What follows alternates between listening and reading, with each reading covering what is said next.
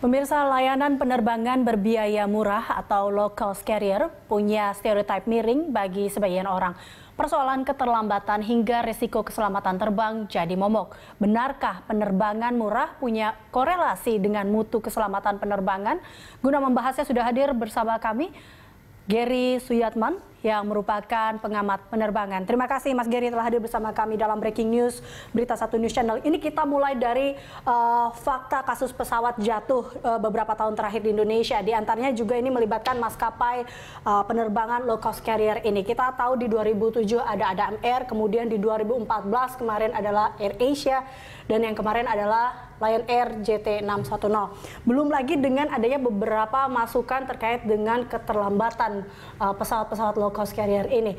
Dua hal ini, ini kan kembali menjadi sebuah dua hal ini yaitu keselamatan dan kenyamanan hmm. ini, uh, Mas Gary. Ini tentunya memunculkan tadi sebuah stereotip miring terkait dengan penerbangan murah ini. Anda melihat apakah memang itu yang terjadi saat ini? Ya kita nggak bisa pungkiri ya bahwa memang di, di LCC ini ada masalah. Hmm. Tetapi kita harus juga objektif masalahnya apa. Iya, Jangan yeah, karena yeah Jangan karena dia punya kejadian kita hujatin semua amarah kita, kefrustran kita ke mereka. Kita juga harus lihat mereka juga nggak mau kayak begitu. Mereka juga mereka juga sudah masukin banyak effort untuk mencegah hal-hal tersebut. Oke. Okay. Tetapi ya di at the end of the day kita urusan sama manusia, manusia dengan manusia. Hmm. Itu yang kadang-kadang agak susah. Kita mengubah barang, mengubah sebuah, sebuah, sebuah produk lebih gampang daripada mengubah seseorang. Hmm. Uh, kita juga harus ingat bahwa dari tahun ya, pesatnya mulainya pesat tumbuh tumbuhnya penerbangan Indonesia secara pesat itu kan 2005-an. Zamannya Lion Air lagi growing lagi growing besar hmm. terus kena pesat. Zamannya Adam Air waktu itu lagi yeah. lagi ekspansi dengan pesat. Nah, di situ kita sebagai satu industri kewalahan sebenarnya. Hmm. Kita tidak mampu melihat ke depan. Kita mesti planning seperti apa sih? Kalau kita growing seperti ini, kita butuh siap, siapin apa aja. Air, jadi sebelum itu maskapai Indonesia di luar Garuda nggak ada yang punya lebih dari 30 pesawat. Nggak ada yang punya lebih dari 50 pesawat. Begitu kena itu mereka nggak siap. Hmm. Ini kita bukan airline kecil lagi, kita airline gede nih. Kita Ber ngapain? Berarti ini dilihat dari kesiapan awal pun ini LCC ini Anda katakan bahwa belum siapkah? Seperti apa di Indonesia? Mereka saya rasa mereka tidak menyangka pertumbuhannya bakal segini pesat juga dari hmm. dari sejak 2005 ya akhirnya mereka harus mengejar kan. Kita lihat banyak sekali inovasi yang dilakukan dari AirAsia waktu itu, uh, lalu juga uh, apa uh, dari maskapai ya, Lion Air juga sudah melakukan banyak perubahan untuk guna apa guna untuk mengurangi ya kehebohan ini yang terjadi hmm. suka delay dan lain-lain karena buat mereka juga rugi sebenarnya gitu. Nah kalau anda mengatakan tadi effort, effort yang diberikan oleh para maskapai ini, ini kan memang yang diharapkan dari uh, kita para penumpang. Cuman kan ada beberapa uh, eh, LCC ini juga tidak melihat effort-effort itu. Apa sebenarnya yang memang effort yang sudah dilakukan oleh para uh, maskapai penerbangan murah ini? Uh, effort mereka sekarang mengu, apa sekarang mereka memonitor pergerakan pesawat mereka secara secara electronic system. Jadi semua yang dulu di, di tracking pakai orang, pakai hmm. formulir besar, itu mereka sudah sudah menggunakan uh, system. Itu untuk bisa monitor resiko delaynya bagaimana, hmm. terus untuk bisa memonitor uh, kalau kalau ada satu pesawat tiba-tiba nyangkut di mana efeknya. Jadi mereka bisa langsung mengubah uh, rotasi pesawat-pesawat lain untuk bisa menutupi jadwal tersebut. Hmm. Tetapi kembali lagi nggak segampang itu juga okay. gitu karena rantainya panjang dari keputusan itu sampai ada pesawat bisa di, di, diganti dipindahkan itu juga panjang rantainya. Hmm. Nah ini yang kita masih belum bisa pecahkan di Indonesia dan uh, ya sayangnya ini penyakit dari dari industri penerbangan. Komunikasi ke publik juga kurang mengenai effort-effort yang mereka lakukan.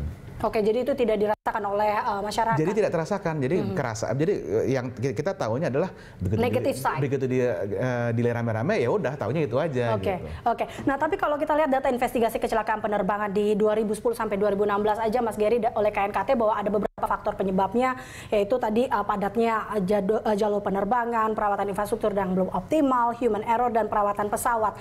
Kadang kita berpikir bahwa apakah memang karena ini adalah low cost carrier ini, adakah memang uh, terkait dengan perawatan pesawat, benarkah konsep pena, uh, penerbangan murah ini memangkas sejumlah sejumlah spesifikasi untuk uh, termasuk di antaranya perawatan pesawat ini? Oke, okay, saya tidak mau nyebut merek, tapi saya bisa bilang ada non LCC yang memangkas maintenance lebih dari LCC. Nah, itu lebih berbahaya lagi tentunya. Jadi Ber eh, berarti apakah itu Anda bisa jadi, mengatakan bahwa jadi persepsi uh -huh. itu apa persepsi yang ada mengenai harga murah sama dengan keselamatan eh, rendah itu sebenarnya uh, kebetulan aja kejadian seperti itu. Karena kalau kita lihat dari da, kalau saya yang saya lihat dari practices yang ada di beberapa maskapai ada maskapai lain yang mungkin seharusnya sudah accident beberapa kali, tapi mereka beruntung. Hmm. Gitu. Jadi, uh, tapi ini kita secara industri membenahi ini semua, terutama uh, karena kita punya kebutuhan ekonomis, okay. yaitu asuransi. Asuransi pesawat ini kalau kita kemarin masih kena FAA kategori 2, EU band, asuransi kita mahal.